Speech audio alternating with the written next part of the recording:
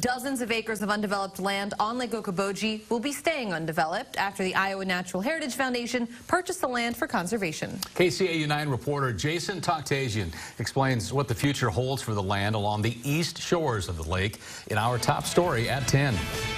With the help of donations and pledges, the INHF has secured the purchase of 50 acres of land, and conservation efforts are already underway. Terry Kendall is a resident of Spirit Lake. He says he's glad the land will remain undeveloped. My wife and I were really happy when we heard that they were uh, going to purchase the land. I think it's it's important to some of us locals to have some of the lake land preserved rather than all being condominiums and uh, built up in the area.